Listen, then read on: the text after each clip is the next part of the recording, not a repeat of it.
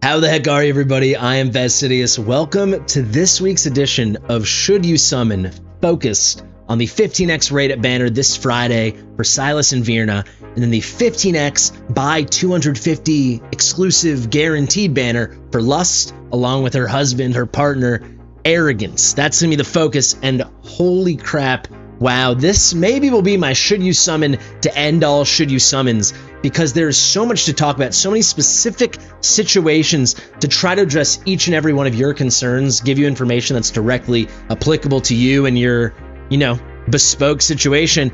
That essentially what I'm going to do, and shout out to Maku, I'll put a, a screenshot up of the comment on yesterday's video that I made. He was like, for your should you summon, you're going to have to make a decision tree which he might have made, meant that tongue in cheek. I'm not going to do a full, if you don't know what a decision tree is, give it a quick Google. I'm not going to do a full, like, visual diagram decision tree, but I do think I have a ton of notes over here. I'm going to take you through, like, a verbal decision tree, kind of being like, are you this or this? And then we'll follow that path, we'll follow the other, and we'll keep branching off. And I want to try to answer, like, the should you summon question for arrogance and lust, or Silas and Vierna, or both for each and every one of you, which is a, is a tall task. I will say, if you make it to the end of this video, I do have a big surprise about a special stream tomorrow regarding all this stuff. And by the way, because there's so much to take you through in this video that I have to explain situation by situation, I'm not going to talk about the hero kits, the awakenings, the tier ratings. If you want all of that, earlier today, I made a big video I'm very proud of with chapters so you can skip around at your leisure, going deep into all four of these heroes, giving you all the information you need to know about Silas, about Vierna, about Lust, about arrogance when it comes to their kits, their awakenings, their tier ratings, where they shine, where you need them, so on and so on. Let's frickin' buckle up and let's get after it. Fastidious. Fastidious. Kicking this thing off with one big piece of information before we go through this decision tree, this verbal salad I'm going to throw in your face, and that's going to be what I'm calling the Kagiri dilemma. To be fair, this doesn't really apply to like big spenders, content creators with tons of diamonds, anything like that, anyone who's been stockpiling forever.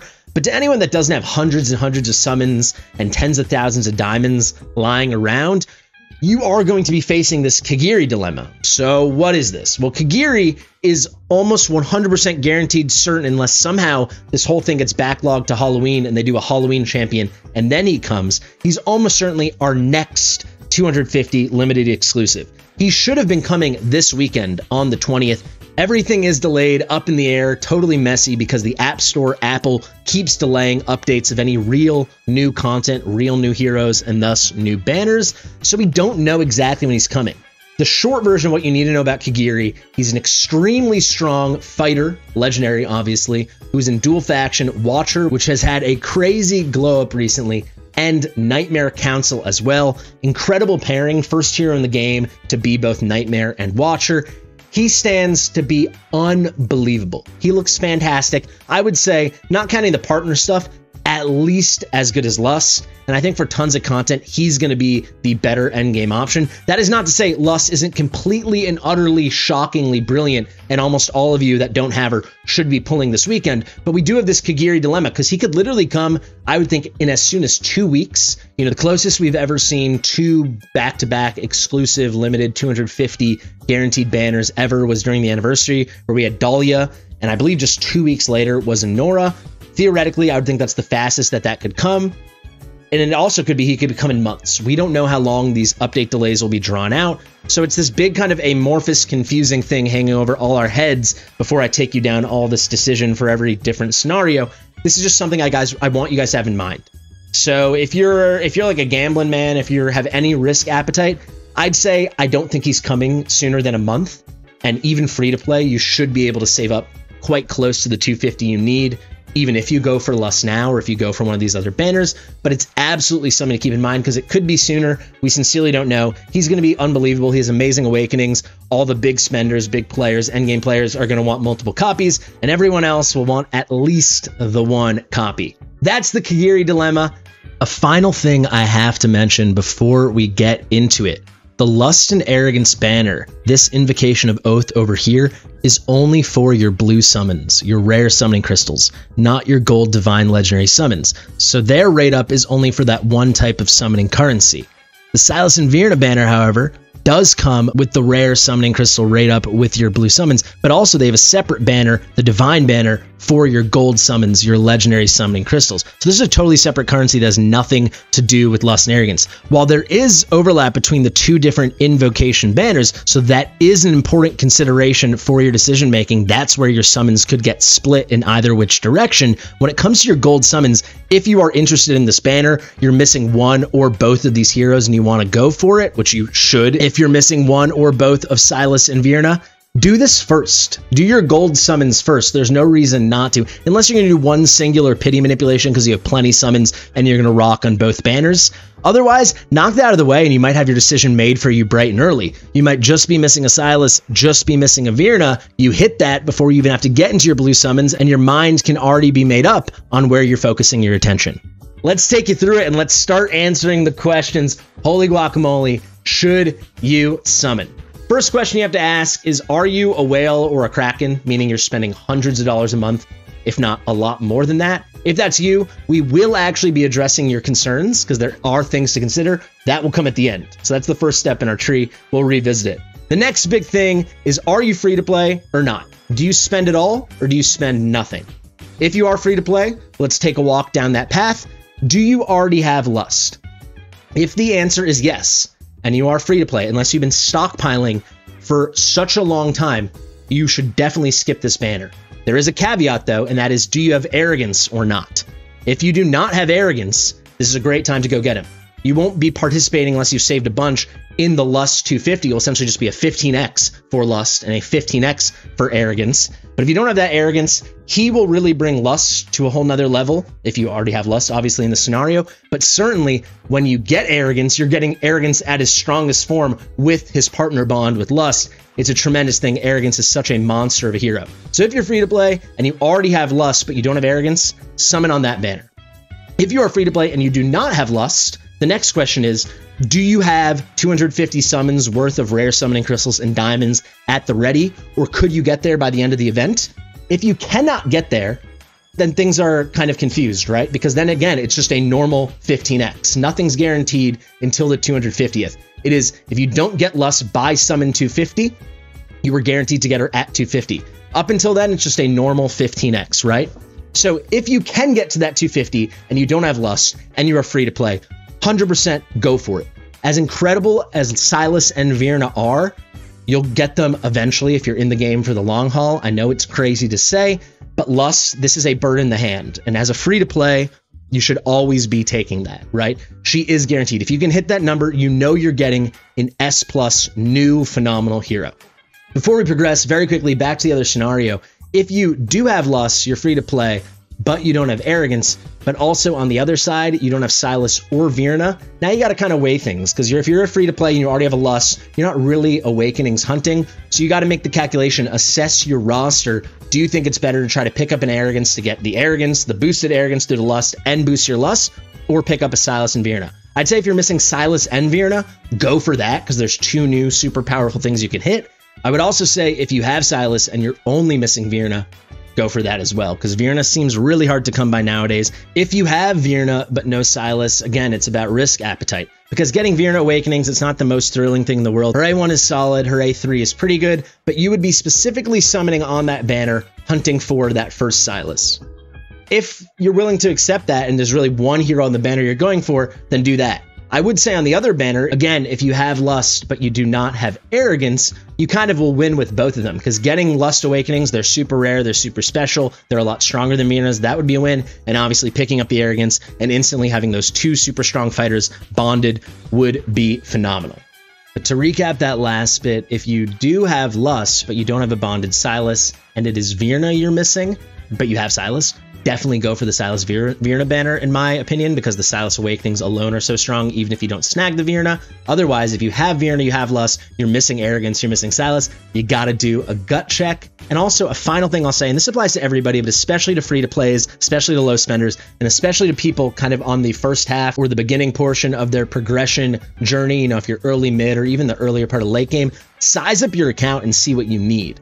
If you go to your account in one of these situations and you have Lust, you're missing Arrogance, but you already have like a Zealot2 and a Valeria, maybe you don't need the Arrogance as much as the Silas on the other side. Likewise, if you're missing Silas, you don't have the arrogance, but when it comes to your marksman, you have a Sargok or a Lucius or both, and you've got these other kind of top options, even if they're not at the level then maybe, yeah, you go for arrogance. So definitely have that level of perspective. Final thing to think about as a free to play if you have all four of these heroes, regardless of awakening, as a free to play, unless you have a super high appetite for risk, just skip both banners. I know that sucks. Oh no, God! No, God, please, no! No! No!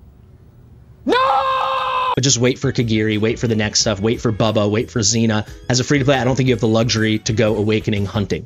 Let's go all the way back now. I think we went pretty deep in the free to play. Let's go down the next path. You are a spender. The next question is how big a spender? And usually, you know, I go low spender, mid spender, dolphin, whale, kraken. The way I want to divide this up is just this arbitrary number, but it feels good in my heart of $60. Are you like a lower spender or a higher spender? Again, we're not talking to the whales and krakens yet. That will come at the end. But if you're in this range, or maybe the range of spending $0 to $200 a month, are you in the zero to sixty dollars range or the sixty to two hundred dollars range? So that's going to be zero to sixty is going to be the low spender, mid spender, and sixty to two hundred is going to be the decent or big spenders, right? So if you're on that lower end, you spend, but it's 10, 20, 30 dollars up to 60 dollars. The next thing you have to ask is, do you have lust? If the answer is no, you absolutely positively have to go for it. It is undeniable. The follow-up question would be, do you have the 250 to make it happen? Through the stuff in the events, the amount of extra spending you might do, even if it's not at a crazy amount, you can get yourself to that 250. If you don't have lust, you have to go for lust, in my opinion. Now, this is where it gets a bit crazier, and you have to make those decisions as these lower level spenders, but people still putting out a little bit of money. I think you have to think about where you are progressing the game and how you see your spending continuing over the, the coming period. If you're going to keep spending and spending consistently, even if it is only 20, 50, whatever bucks a month, only to me, that sounds like a lot, but you know what I'm saying. If you're playing the game for months or certainly a year or two years, over time, you are going to snag the non special heroes. The normal heroes will come. It might sound crazy, but in time you will get them. You could always have the one missing hole, and maybe you miss the Silas or you miss the Arrogance, but almost certainly the odds are in your favor. May the odds be ever in your favor. That you'll eventually snag all these normal, non exclusive 250 guaranteed heroes. So at that point, you have to assess your roster. You know, if you're missing one key piece of one of the bonds, let's say you have three of these four heroes, but you're just missing a Vierna, you're just missing an Arrogance, or so on and so on. Obviously, in the scenario, you already summoned four Lust then I say go for the missing piece. You know, you will get them over time, but you might as well target now. You're going to have some continued spending, you're going to have some continued pulling aggression. I think that is the way to go. Assess your account, see what you really need. If we're going to be a little broader about it, once you get the lust, to me, the key thing is getting a bonded Silas and making that happen. That's what's going to give your account the biggest push immediately, especially if you're not already at that later part of the game or the end game. Going for that bonded Silas, that's going to be the game changer. Like I said, you're going to pick up everything almost certainly over time as you progress. Keep spending a little, keep playing a lot. So if and when you're able to snag that first copy of Lust, if you're still missing a Silas or a Vierna or both, I say unload on that banner if you already have lust, you already have bonded Silas, you're only missing arrogance. In my opinion, obviously go for the arrogance, not Silas awakenings, and then you, maybe you'll get some lust awakenings too. And then the final situation again, you know, with free to play, I said 100% don't do it. If you are a decent spender, even if not a crazy spender, and you have a copy of all four of these guys already, you really got to size it up and think. Again, it's kind of coming down to risk appetite, right? I think for for most people, even if I was spending like 50 bucks a month, I'm trying to put myself in your shoes. If I had all four, I don't think I'd go for Awakenings. We know a bunch of new heroes, a bunch of good banners are coming. I would anticipate when they do get approved, and again, we don't know when it's going to be. It could be a week, it could be months. When they do get approved for new updates, new content, new heroes, and new banners, I think it's going to be like the floodgates opening. I think we're going to be completely inundated with tons of new stuff. And I think there is a chance if it does happen sooner rather than later, and you go now unloading on these banners because you want to scratch that itch and pick up some awakenings, you may regret it. So I just want to share my piece on that. I don't think it's an enormous risk, but I think it is an actual risk. So you have to make that call yourself. That's kind of where that saddles up. Let's transition now into our big boy stuff, the big spenders. So if you are like a whale or a kraken, kraken spending hundreds and hundreds, if not more, dollars per month, and then whales being let's call it 200 or 300 dollars a month or more. So we're in a territory now where obviously you're pulling on both banners. The question is how much to pull where. The decision tree fork we're going to follow, the paths we're going to go down now, I'm going to split it up as are you going to be summoning more or less than 500 summons? That's kind of where I'm going to sneak it in. All right. That's that feels like a break point.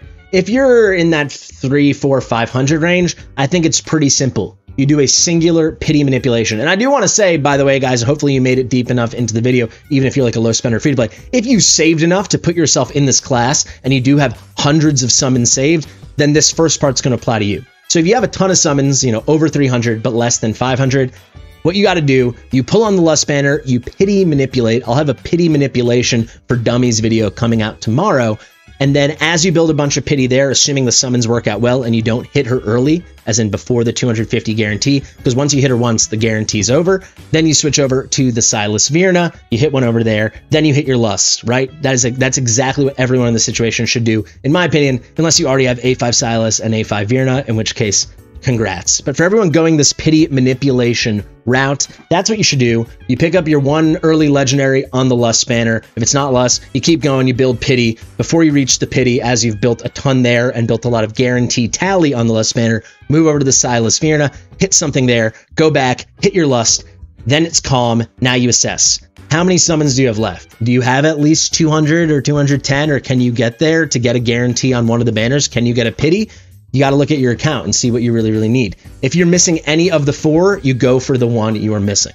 It's as simple as that. If you're missing multiple of the four, obviously you just picked up your lust. So if you're missing all three, for me, I would definitely just go and try to grab an arrogance. Why not? You already have half the pair. Go try to get the other half. Maybe you get a lust awakening.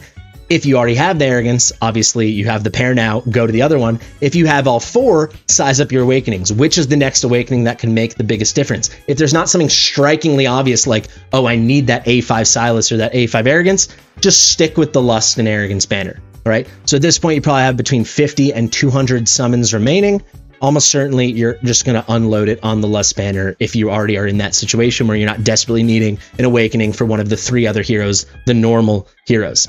Now, for the really crazy stuff, you have over 500 summons to spend. Maybe the 500 number is slightly low. And again, dividing this as Kraken and Whale probably was incorrect because people could have been saving. And if that's you, let me know in the comments. People could be in a situation without cra- crazy spending, but I just think this situation is is typical of the big spender. So that's why we're defining it as such. If you got over 500 summons, basically you're guaranteed a pity manipulation, and then you're guaranteed at least one more pity, if not multiple. Maybe you're pulling hundreds and hundreds and hundreds of times more, if not even a greater number than that. It's just all about sizing up the account.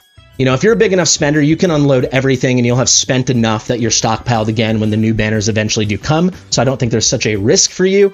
I think it really is about going through all the awakenings and see what you're missing. Obviously, if you've reached that point, you're at that level spending, that level of saving, whatever, and you're still missing one of these four, so you haven't completed both bonds, obviously that's the banner you hunt on. If you're cushy and you're comfy and you have so many sums to spend and you really want to make a big end game kind of meta push, get some lust awakenings. Why not? At this point, we're kind of borderlining that Kraken territory, or at least you've saved and spent to a level that puts you in that conversation. I think then you're unloading for lust dupes. Or you could, you know, save it all and skip it and just go all in for Kagiri when he comes. Or maybe you're going to do both because you're that level of spender. I think at this point you don't really need my advice, but I did want to talk it through because there will be people that are free to play or low spender or whatever that have amassed, you know, 800 summons worth of crystals and diamonds, so on and so on. So, guys, I think in the future I'll probably have to visually do this a bit more to lead you down those paths a bit clearer. The too long don't read, the TLDR is do you not have lust? If you don't have lust and you have enough summons to guarantee you can get her so you can get to the 215 mark, 99% of you should just go for it. There's there's nothing else to really think about. At the earliest, she will come back on Valentine's Day, but who knows? Maybe there's a new Valentine's Day thing that's going to come around. I doubt it. I think even if they did a new Valentine's Day thing, they'd still bring her back. But, you know, something to think about. After that, you got to go back and listen to all the nuanced kind of things I said to the best of my ability. And uh, yeah, I really hope this does help. This is really, this has really turned out to be difficult. And that actually brings me the surprise I teased at the beginning.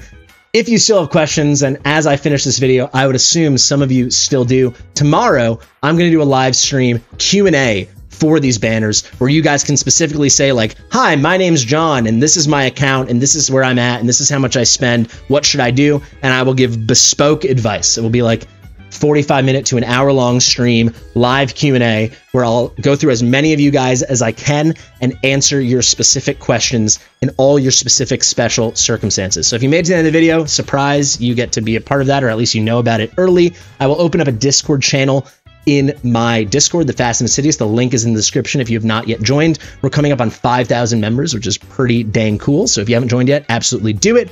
And there'll be a channel there. Let's just decide right now. We're going to call it Lust Silas Where to Summon Q&A. That will be the channel. Cool name. Not really. There you go, guys. I really, really hope this helped. Thank you so much for watching. If it didn't, any ideas how to make something like this better, do let me know. This is like so amorphous, and there's so many special situations I can think of in my head, depending on progression level, spending level, who you're missing, who you already have, that it really is difficult. So I'm hoping any gaps in the information I provided in this video tonight can be filled in the Q&A tomorrow. So please get your questions in. I am going to say, unless not that many people ask, but I think a lot of people will ask, if you don't put your question in the channel, I probably won't get to it. I'm not going to be answering questions in chat because I'd say even once we have like 10 specific situations posted, that's probably enough to last like an hour. And at that point, I'll be exhausted. Thank you guys so much. There's so much summoning to do this weekend. I hope you are stoked. I've been fastidious. If you're not yet subscribed, please subscribe, give it a thumbs up, share with your mother, and I'll see you real soon. Bye.